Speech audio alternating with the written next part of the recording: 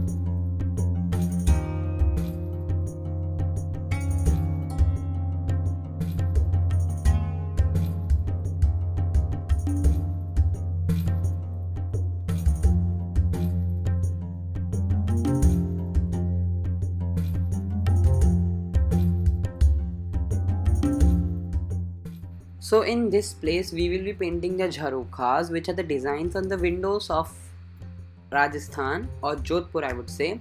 So first we will be painting it with a mixture of black and Prussian blue and then we are going to make jharokhas using white over it.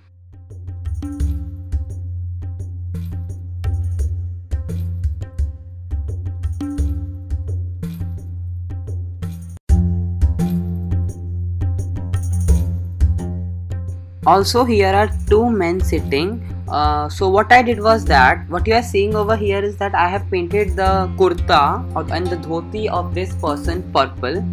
But at the end I changed the color and the color and the composition of that kurta which you're going to see at the end